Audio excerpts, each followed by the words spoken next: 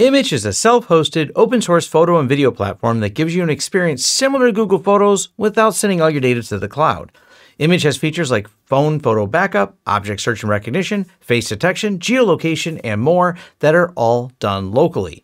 In this video, I'll be showing you how to set up Immich in TrueNAS, but if you're looking for a standard Linux Docker tutorial, my friend Techno Tim has a fantastic video and walkthrough that you'll find linked down below. This video is not sponsored, but if you'd like to hire us or buy some swag from our store, you can do so by heading over to lawrencesystems.com. Now I'm doing this on TrueNAS 25.10, latest version available here in December of 2025. I do want to point out though that this is an AMD Ryzen 7 5700G and it has 16 cores available. I bring it up because I'm going to assign additional resources to Immich because that will directly impact how fast it's able to process all the images and apply the machine learning models to do facial recognition and object recognition in those images. The first step is creating the data sets where Immich is going to go. I prefer to organize things by having my main pool data set, then app storage, then underneath app storage is where I store all the data for the apps.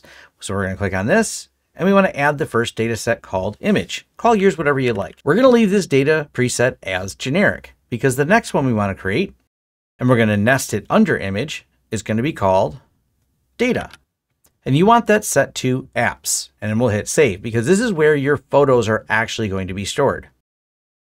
Then we're going to click back on Immich and we're going to add one more data set. It's up to you what you'd like to call this. We're going to call it PG data because this is a Postgres database it is important that you leave this one at generic and click Save. Now let's scroll over to Apps, Discover Apps, click on Immich, Install. I want the machine learning on, and because I don't have a graphics card that supports CUDA, such as NVIDIA or ROCm, I do have a processor that will take advantage of OpenVINO, so we'll go ahead and click this. Database password. Make sure you have a good password for this. For simplicity, I'm going to keep it simple. Same thing with the Redis password. But I do recommend choosing strong ones and recalling what you set those to in case you ever have to set Immich back up and you want to point it at the same database. Then we're going to scroll down here, leaving the port number the same, and we want to get into our storage configuration. First one is the data path. We're going to go to Mount, Dozer, App Storage, Immich, Data, then we'll scroll down here. We can leave this one as temporary directory because this is just a machine learning cache. It doesn't really matter. It's not something that really has to be tracked or backed up. But we do want to take care of our Postgres data storage by choosing host path, mount, dozer, app storage, Immich, PG data or Postgres data. Do check the automatic permissions. Now, you could have set the permissions manually. We'll get to that in a moment because I want to show you what permissions they set.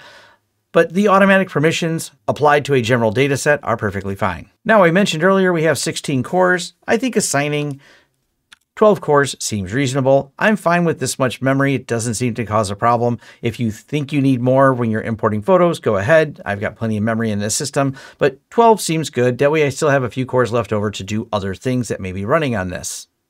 Then click install. Now Immich is up and running, then we can click on the web UI and run through the getting started. Fill out the admin registration, hit sign up, sign in with the credentials you created, choose your theme, definitely dark, language, privacy. I'm going to leave these at default. I'm not going to use Google Cast, that's up to you. Storage template.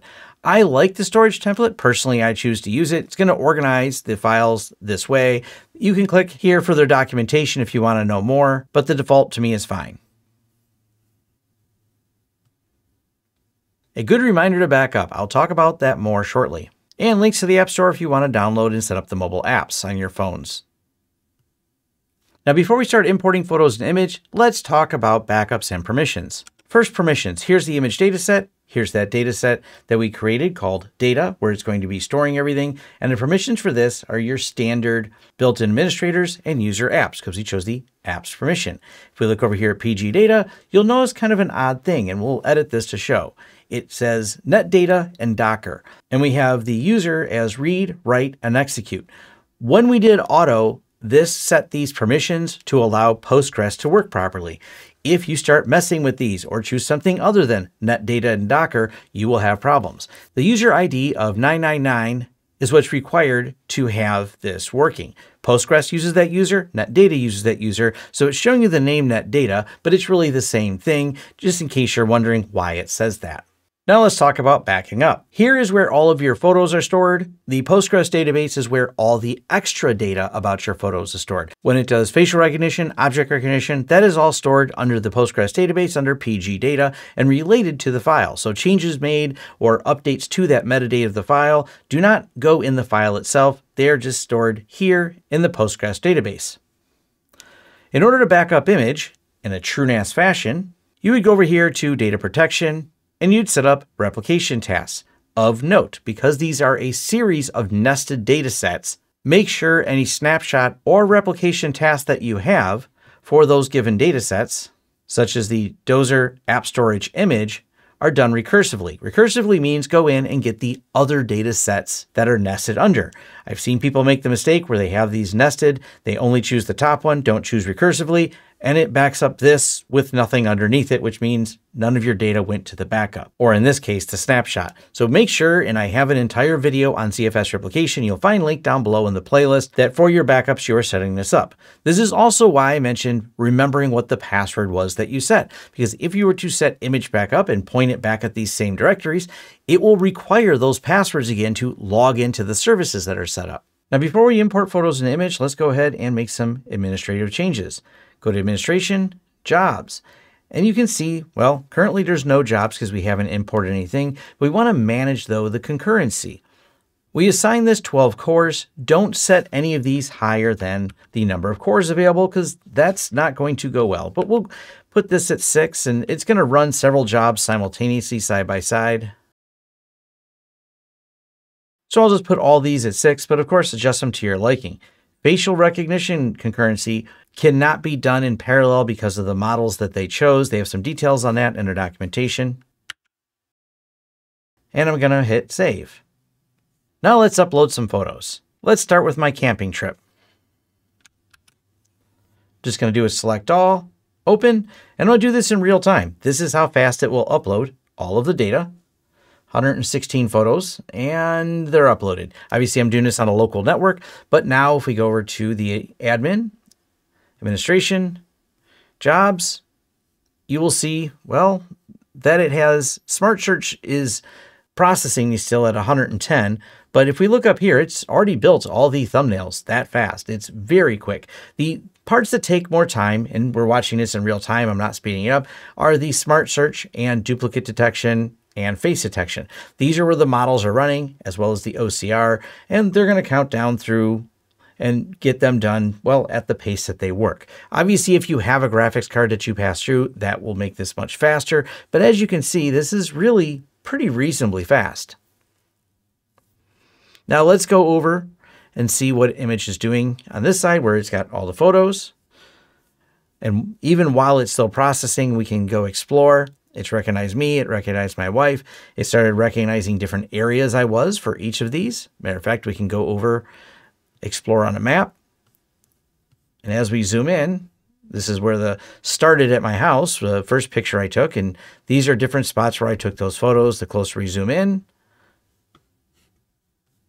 within relative accuracy of the GPS in my phone, which it turned out in this area was sometimes not as accurate because I know I'm a little bit further down here, at least I think I was when I took some of these photos, but you get the idea. It also lets you do things such as click on the type of camera that was used and narrow it down. These were all taken with my Pixel 9 camera, so all of these photos are selected. Now, what if we wanted to make an album? Well, it's pretty easy. You can create and select photos that you already have to build an album, such as my vacation photos here. You can also upload directly to an album, so we'll call this Studio Project. And we'll hit select photos, but we're going to select from computer. Go back to my downloads. I already have the studio project ready. Once again, select all, open, and there are 73 photos in there. It's uploading those right away. I can actually click done as soon as it's done uploading the files. And we're almost there. There we go.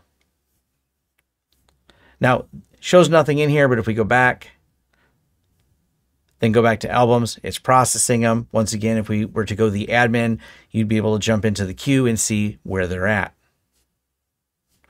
And this will cover the entirety of me building the studio. Yes, we built it pretty much from scratch, just like this. And it does do videos. And yes, the videos will autoplay, and you can watch this video to see how we got the boards down into my studio. Kind of noisy. Now, this is not a full tutorial for all the features of Immich. I'm going to do that separately, but I do want to talk about external libraries. Let's go over here to Administration, External Libraries, hit the plus. We're going to choose my test user and create this external library.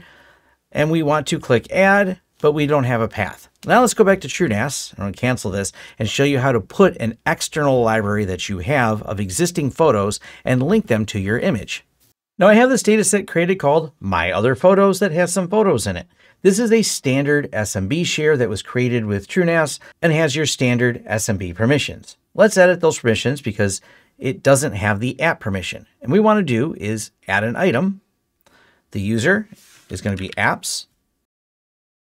And permission type, we're going to set it to read only. I don't need Immich to have write access because this is just reading these photos. As I mentioned, all the data and what it learns from these photos through the object recognition systems is going to be stored in the Postgres database.